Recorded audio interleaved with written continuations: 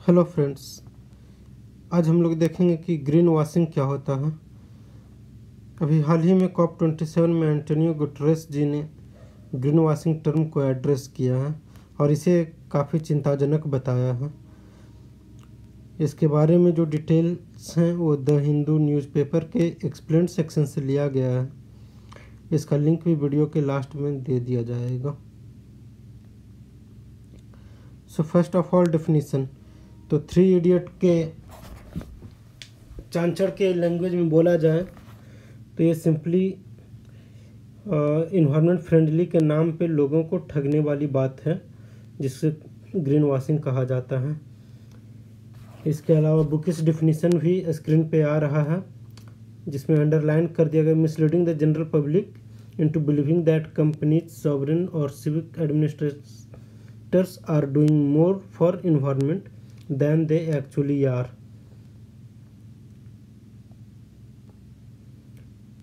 इसके बाद सवाल आता है कि क्यों करते हैं? There is one and only one reason profit maximisation however आप इसको अलग अलग तरीके से लिख सकते हैं। जैसे कि आपके स्क्रीन पे आ रहा होगा कि कंपनी या तो अपने आप को इन्वायरमेंट फ्रेंडली दिखाने की कोशिश करती है, इसलिए ऐसा करती है या फिर प्रॉफिट मैक्सिमाइजेशन हालाँकि इन्वायरमेंट फ्रेंडली भी अपने आप को क्यों दिखाना चाहेगी? उसके पीछे रीज़न यही है कि पहले रेप्यूटेशन बनाओ और उसके बाद प्रॉफिट बनाओ। So there is only one and one reason profit maximization so profit maximization करें तो करें कैसे? इसका कुछ टेक्निक्स उन लोगों ने यूज़ किया है just like by cutting down product bundle आपको याद होगा इंडिया में जब पहले जो भी सेलफोन्स आते थे, उनके साथ एक ईयरफोन भी आया करता था चार्जर भी आया करता था। तो ईयरफोन तो काफ़ी पहले चला गया। अभी रेयरली किसी फ़ोन में आपको ईयरफोन साथ में मिलेगा या फिर ईयरबड साथ में मिलेगा। आपको अब अलग से ख़रीदना पड़ता है। एंड देन अब चार्जर गायब कर दिया है एप्पल वालों ने और उसे देख करके मैंने रिसेंटली सुना कि सैमसंग के भी किसी फ़ोन में चार्जर हटा दिया गया है। इसके पीछे उनका क्लेम ये है कि चार्जर फ्रिक्वेंटली ख़राब नहीं होते हैं, जबकि मोबाइल फ्रिक्वेंटली ख़राब होता है, इसीलिए चार्जर को साथ में देने का ज़रूरत नहीं है। बट द प्रॉब्लम इज़ कि एप्पल अभी तक अलग ही चार्जिंग पोर्ट यूज़ कर रहा था। इट मीन्स कि अगर आप किसी और कंपनी से एप्पल पे शिफ्ट कर रहे हैं, जो कि लाइटनिंग पोर्ट के नाम से जाना जाता था, और जबकि अदर कंपनीज़ में आपको यूएसबी माइक्रो या फिर यूएसबी टाइप सी मिलता था। तो आपको एप्पल का चार्जर भी अलग से लेना पड़ेगा मतलब महँगे फ़ोन के बाद महँगा चार्जर भी। सिमिलरली आप आज के डेट में कोई भी फ़ोन ख़रीदेंगे तो आपको ईयरफोन या ईयरबड अलग से ख़रीदना होगा। Then second thing is by saving on logistic वो लोग लॉजिस्टिक एक्सपेंसेस भी बचाना चाहते हैं, जैसे लाइक पैकेजिंग का वज़न कम कर देंगे, वो कुछ पैकेज सेफ्टी को थोड़ा सा मिनिमाइज करके। उसका बर्डन चला जाएगा फिर लॉजिस्टिक कंपनी पे। इसके बाद कुछ कंट्रीज़ में कुछ गवर्नमेंट्स है जो कि रिलैक्सेशन दे रहे हैं। कुछ सेस माफ़ कर देते हैं अगर आपका प्रोडक्ट इको फ्रेंडली है तो। जस्ट लाइक इंडिया में काफ़ी सारी ईवी व्हीकल्स को काफ़ी छूट मिला हुआ है। उसी प्रकार से अगर अदर कंपनीज़ भी कुछ इको फ्रेंडली प्रोडक्ट बना रही है तो उनको काफ़ी सारे रिलैक्सेशन गवर्नमेंट देती है। तो झूठ मूठ का अपने प्रोडक्ट को इको फ्रेंडली बता करके भी कंपनी इस तरह के रिलैक्सेशन ले रही है। इसके बाद सवाल आता है कि ये करते कैसे हैं? तो सिंपल है इको फ्रेंडली के बहुत सारे सिनोनिम बन चुके हैं और वो लोग, इन सिनोनिम्स को किसी भी तरीके से तोड़ मड़ोड़ करके यूज़ करते हैं। कुछ टर्म्स आ रहे हैं आपके स्क्रीन पर net zero net zero aligned eco friendly green ecological इस तरह के किसी शब्द को यूज़ कर रहे हैं जिसके बारे में कोई सेटिस्फैक्ट्री एविडेंस भी नहीं होता उनके पास। और किसी स्टेज में, किसी एक स्टेज में इस तरह का प्रोसेस यूज़ कर लेते हैं जहाँ पर कि उन्होंने थोड़ा सा इको फ्रेंडली काम किया हो और फिर वो बोल देंगे कि नहीं, हमारा तो पूरा प्रोसेस ही इको फ्रेंडली हो गया, हमारा प्रोडक्ट इको फ्रेंडली है। तो इस तरह के मिटिगेशन इस तरह के चीज़ों को मिटिगेट करना होगा। अब आती है बात कि क्या गवर्नमेंट ने कभी ऐसे फॉल्स क्लेम्स पर कुछ शिकंजा कसा है? तो हाँ कसा है? अप्रैल 2022 में यूएस फेडरल ट्रेड कमीशन ने कोयल एंड वॉलमार्ट को पेनलाइज किया था। 5.5 मिलियन डॉलर का पेनाल्टी लगा था।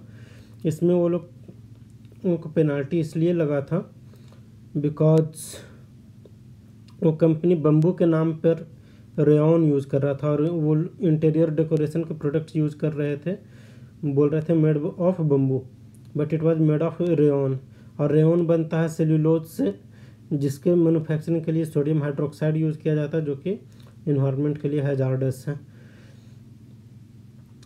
सिमिलरली इंडिया में मई 2022 में सेबी को यह जिम्मेवारी दी गई है कि आप एक ईएसजी कमेटी गठित करें और ESG means environmental social and governance जो कि कंपनी के ईएसजी स्कीम्स को एनालिसिस करेगी कि जो कंपनी सेबी के अंदर रजिस्टर्ड हैं, वो कंपनीज़ ईएसजी नॉर्म्स को फॉलो कर रही हैं कि नहीं? क्या वो फॉल्स ईएसजी क्लेम तो नहीं कर रहे हैं? और इसमें जो अभी मेन क्लाइंट्स होंगे जिन पर नज़र रखा जाएगा, वो म्यूचुअल फंड ओनर्स होंगे, जो कि मिस सेलिंग ना कर रहे हों, उन लोगों को अपने स्टॉक लिस्ट में रखें। इसके बाद कुछ रिकमेंडेशंस आए थे कि ऐसे चैलेंजेस को किस तरह से टैकल किया जाए, जिसमें फ़र्स्ट चैलेंज रिकमेंडेशन तो ये है और काफ़ी कारगर भी है कि इस तरह का क्लेम कोई नॉन स्टेट एक्टर अपने मन से ना कर पाए। और ख़ास करके तब बिल्कुल भी नहीं जब वो कोई फॉसिल फ्यूल के लिए ख़रीदारी कर रहे हो या फिर फॉसिल फ्यूल बना रहे हो।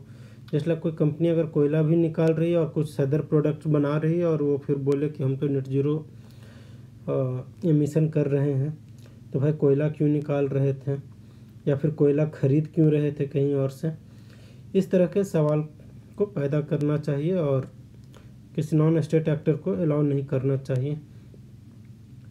कोई भी कंपनी जो कि इनको रिड्यूस करने के लिए काम कर रहा हो मतलब कि एमिशन को रिड्यूस कर रहा हो, जो कि ना सिर्फ़ किसी एक चेन में हो, बल्कि वो इंटायर चेन में होना चाहिए। जैसा मैंने बोला कि हो सकता है कोई कंपनी पाँच प्रोसेसेस यूज़ करते हो इन रॉ प्रोडक्ट को फाइनल प्रोडक्ट बनाने के लिए और पाँच प्रोसेस में से मोस्टली इनिशियल या फाइनल में वो ज़ीरो एमिशन अगर अचीव कर लेते हैं तो वो इस तरह का क्लेम कर लेंगे कि भाई हमने तो रॉ मटेरियल को ज़ीरो एमिशन से प्रोसेस कर दिया और अब ये फाइनल प्रोडक्ट ले लीजिए। लेकिन वो ज़ीरो एमिशन से फ़र्स्ट स्टेज पे गया होगा।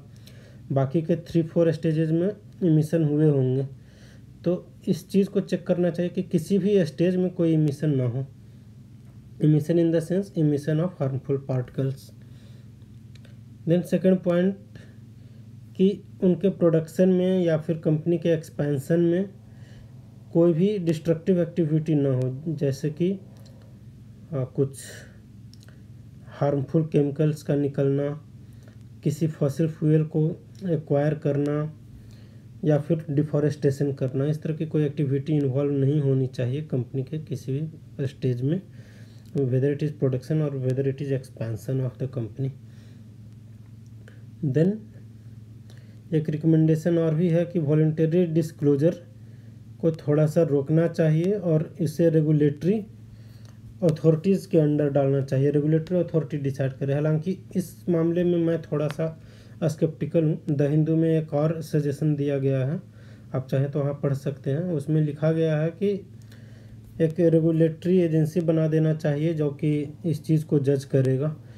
बट मुझे लगता है कि ये फिर से लाल फीता शाही वाली बात हो जाएगी, रेड टेपिज्म वाली बात हो जाएगी कि कंपनी को एक जगह से क्लियरेंस लेना होगा और वो फिर क्लियरेंस लेने, देने वाली एजेंसी पैसे लेकर के क्लियरेंस दे रही होगी और फिर जनता को कोई खास फ़ायदा नहीं होगा। जस्ट एक ऑफ़िस बन जाएगा घुसखोरों का। So that last point I have not taken completely because I am not very much satisfied with that point और ये लिंक आपके स्क्रीन पे आ रहा है, आप चाहें तो इसे कॉपी कर सकते हैं या फिर टाइप कर सकते हैं। मैं डिस्क्रिप्शन में भी ये लिंक दे दूँगा। देखने के लिए धन्यवाद। उम्मीद है कि आप लोग अच्छा कर रहे होंगे तैयारी।